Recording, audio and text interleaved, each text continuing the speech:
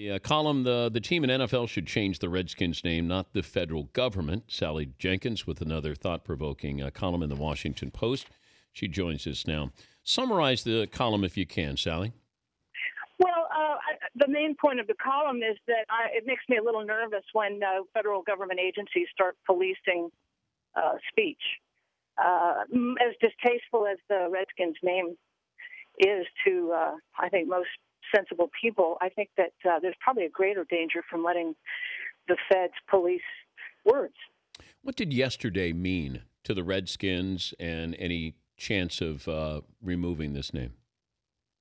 Well, it certainly uh, raises the the amount of pressure on Dan Snyder.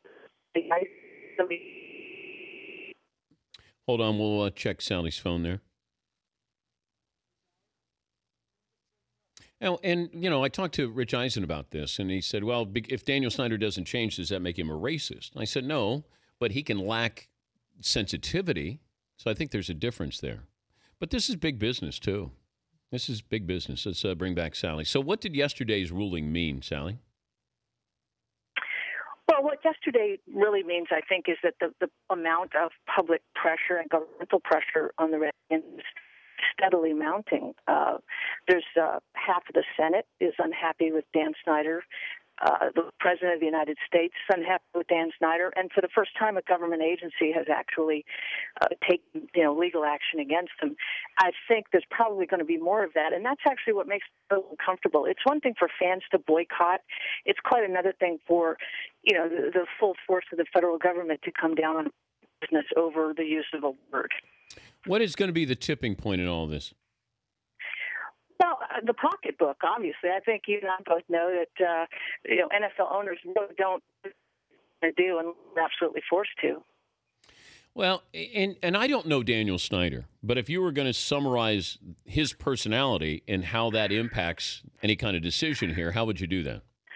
Well, defiant uh, would be certainly his attitude. I, it's funny. I, I actually think that his sort of excessive provocations on this subject um, didn't help him. You know, when when he gives an interview to USA Today, he says, "I will never change the name." Put "never" in all caps.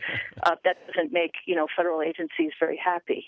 Uh, so you know, I, I think that it's been a public relations disaster for the Redskins, among other things. It's been very interesting to sort of watch them fall into every pothole uh, along the way. What do Redskin fans want? Well, they're very they're deeply split. Uh, at least judging by my mail, um, you know, you, would have to take a pretty uh, you know a more scientific poll than that to really understand where the majority and the minority is on the issue. Uh, but but you know, I get emails that say you know, the Redskins are a, a term of honor and a beloved uh, symbol, and I get mail that says it's a vile racist epithet and it shouldn't be in the newspaper. Talking to Sally Jenkins, Washington Post columnist, joining us, Dan Patrick Show. That's where I, I, I kind of chuckle with it when I have people who aren't Native American, but they want to tell the Native Americans how they're supposed to feel about this name.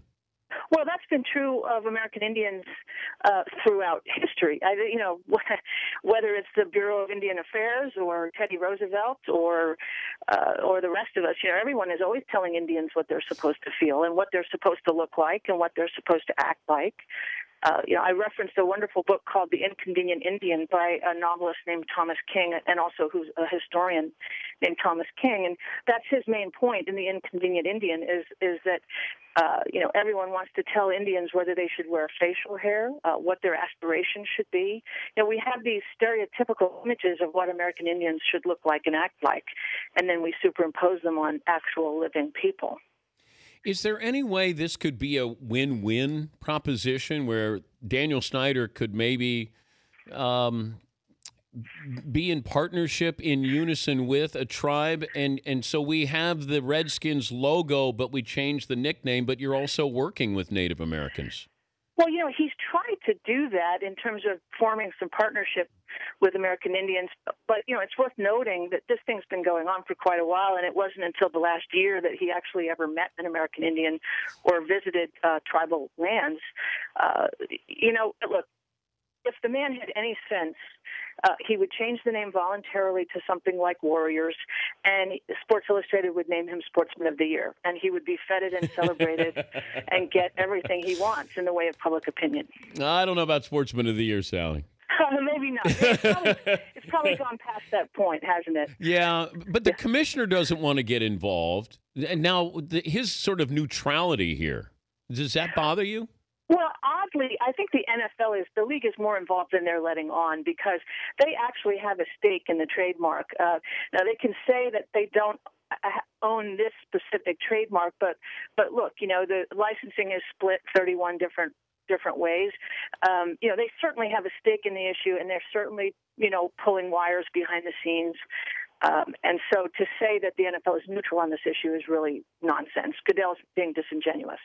Yeah, but he's backed away. I mean, you, you can't get him close to it. Uh, and you want to let your owners be owners. You don't want to go in as big brother or be Orwellian here. So that's why I think it's we're well, seeing this. Think, yeah, I think there's that. You know, he he doesn't want to pick fights with his own uh, owner constituency, uh, number one. But I also think as big a factor as anything is the fact that he doesn't like being associated with failures or with.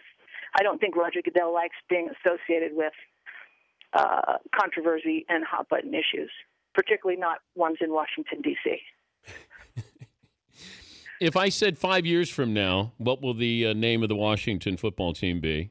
Or I think it will. Uh, believe it or not, I think it will still be uh, Redskins. I, you know, I, I, I am not at all convinced that this trademark uh, issue is going to be the, the tipping point that um, you know some publications are making it out to be. What uh, uh, what do you make of this? And I fall in, you know, with this that you get sort of the low hanging fruit. Now everybody's coming in to pile on with this and say, now how can they how can they do this and have a name like that, the Redskins, and this is insensitive and not fair to Native Americans. What if it was? Where has everybody been on it? I guess is uh, what I want to ask Sal. Case has been going on since the 1960s. There have been protests about the name uh, since the 1960s. Uh, the case has been in and out of the, the Trademark and Patent Office. Uh, you know, um, since that time, uh, there was a decision in '99. There was an appeal. Uh, you know, one of the big questions here. It's interesting watching the federal government work.